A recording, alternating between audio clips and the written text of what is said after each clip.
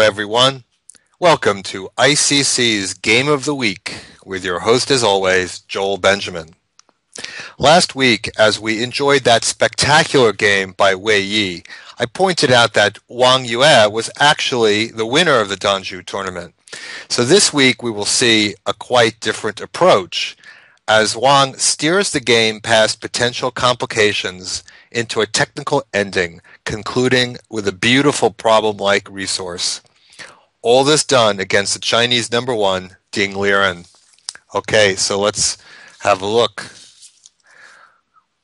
Wang Yue, definitely a different type of player than Wei Yi, much more of a technician. But the game starts out fairly sharp as Ding goes for King's Indian, he's well one of the top players in the world that is not afraid to go into this opening. There aren't really that many on the on the highest levels, and so Wang Yue plays something we don't see all that often. Uh, most of the Grandmaster games, I would say, would be either some kind of G3 against the King's Indian or the standard main line with knight f3 instead of bishop g5. So this is the Averbakh system, uh, totally violating the rule about knights before bishops. But the idea is that uh, black is discouraged from playing e5 because this runs into a trade and knight d5. So there's a very specific reason for this particular development.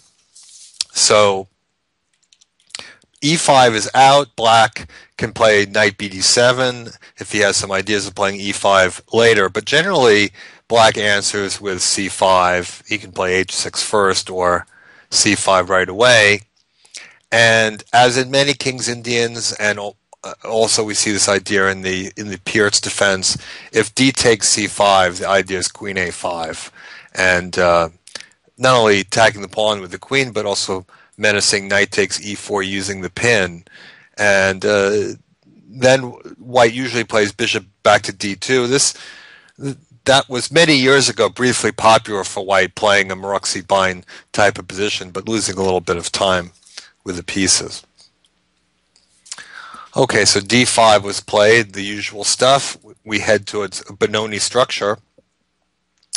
And generally white in this position plays queen d2. We see in the King's Indian very often when the, the dark squared bishop is, is developed early, we see queen d2 following up to give some extra protection to cover the h6 square, although in a lot of situations black is able to play h6 nonetheless. But um, this is the, the usual way to play, and Wang Yue instead plays knight f3, and I, have never actually seen anybody do that in, in, in this position.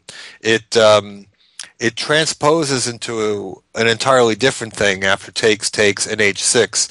Now we get a position that is normally arrived at from the modern Benoni move order with an early bishop g5.